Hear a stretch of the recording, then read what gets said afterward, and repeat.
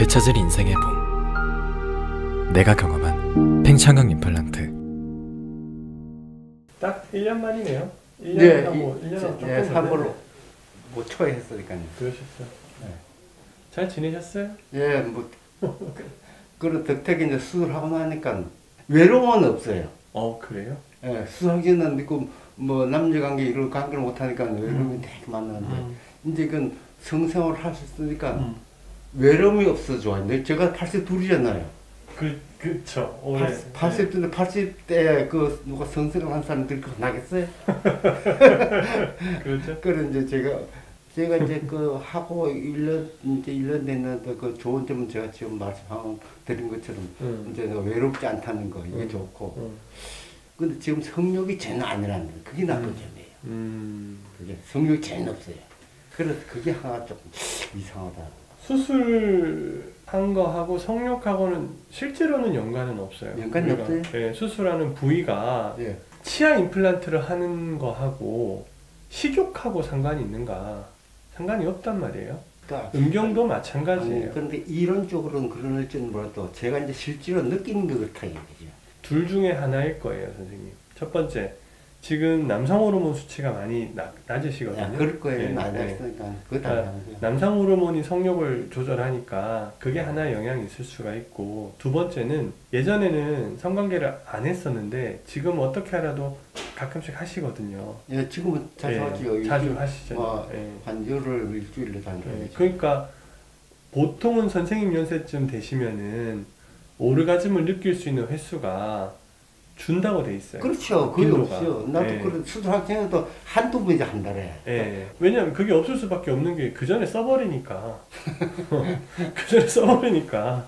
제가 볼 때는 써서 없든 아니면은 조금 지금 남성 호르몬 수치를 보면 좀 저하되어 있으시든 그 둘 중에 하나인데 자꾸 제가 하되겠죠. 음. 나이가 자꾸 들어가니까.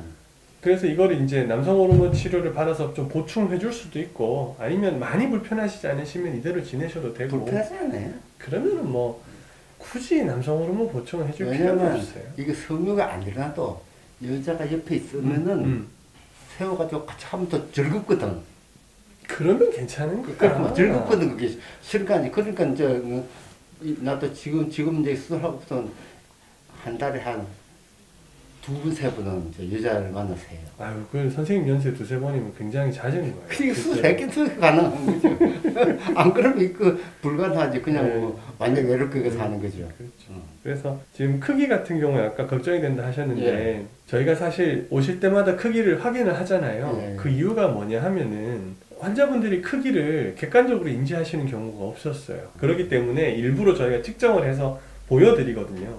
길이 같은 경우에는 선생님이 오시기 여기 수술 받으시기 직전에 발기를 시켜놓은 상태에서 쟀을 때가 귀두를 포함하지 않고 8.5cm였어요.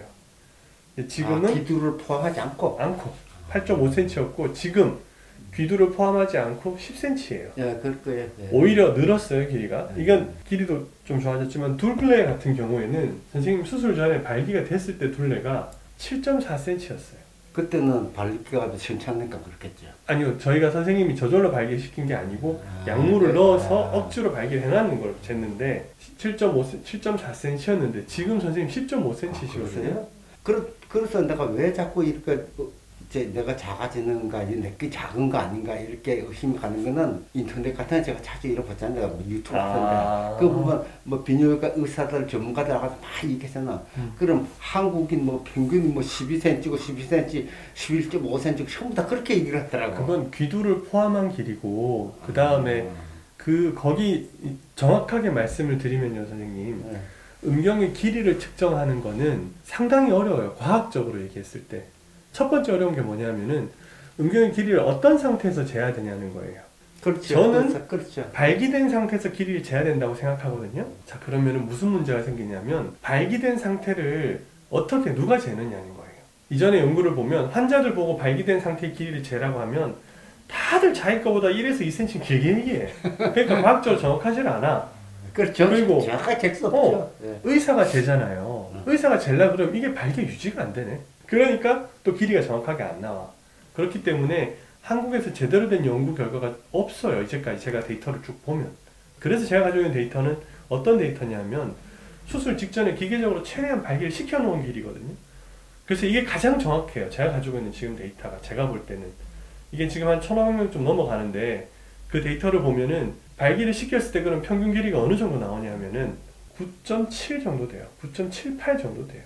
실제로 귀도 포함하지 않은 길이가 아, 그러니까 아, 귀도 포함을 해버리면. 문제가 되는 게 뭐냐면 그래, 그래서 그 귀도 길이가 네. 집어 당기면 늘어나 네. 안 집어 당기면 안 늘어나 네. 발기가 되는 이게 또 길이 그러니까 편차가 커요 기도를 포함하느냐 안 하냐 그 차이구나. 그 차이야 그래서 음. 그렇게 해서 재 보면은 그 정도인데 물론 귀도가 큰 사람도 있고 또 작은 사람도 그렇죠. 있으니까요 굵기도 여자들하고 대화를 해보면은 사람마다 다 틀려. 어떤 사람은 좀 굵은 걸 좋아하는 여자분들도 있고 굵은 거 싫어하는 여자도 있더라고요. 적당한 게 좋아요 그래서 궁합이란 게 있다 하잖아요 그렇죠. 그게 궁합이 온 거죠. 그게 궁합이죠 어, 서로가 이제 딱 맞는 게. 음. 그래, 그, 그렇고, 음. 제, 저는 이제 왜 그거 자꾸 여기, 여기가 의심을 하는가 하면, 유튜브 같은 데 이걸 자주 보면은, 여 비뇨기과 전문 의사들, 그 뭐, 뭐 이런 분들 나와가지고 막 한, 비뇨기과 의사들 많이 나오잖아요. 저 음. 유튜브에. 음.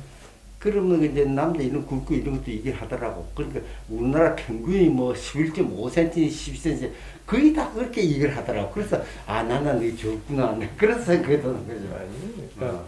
그 연구가 정확하게 된 연구가 안타깝게 음. 없어요 어. 하여튼 간에 그렇다 보시면 돼요 네. 그래서 크기는 염려 안 하셔도 되고 네, 저는 근심 문제는 놓겠습니다. 지금까지 걱정을 했었는 데 늦게 누금 죽은 거 아닌가 가는 거 참 가는 게 아닌가 이렇게 그 걱정을 했을 거예요. 전혀 안 그런 그런 걱정 안 해도 되겠네. 전혀 걱정할 필요, 필요가 없어요. 불편한 점은 없으셨어요? 없어요. 불편함은 하나도 없어요. 하고 많이 아프거나 하지는 아 그런? 절대 없어요. 없었어요? 예. 음. 불편한 게 불편한 건 전혀 없었고 근데 내가 방금 또 얘기했듯이 뭐 내 스스로 아이고 내가 좀 적은 건 아닌가 또 성욕 하고 싶은 성욕이 아니란다 이런 거지 음. 다른 얘- 얘기 뭐 신체적으로 얘기는 건 전혀 없었어요 수술 받았다는 느낌은 있으세요? 평소에? 그런 것도 없어요 그런 게 없어요? 예. 음.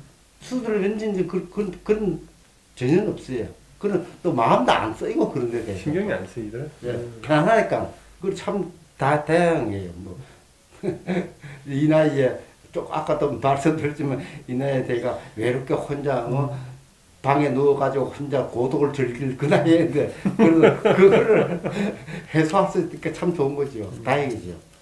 아무튼 잘 쓰시고 계시니까 좋고요. 예. 오늘 시간 내주셔서 감사합니다. 아이고 고맙습니다. 이 상담해 주셔서. 아닙니다. 예.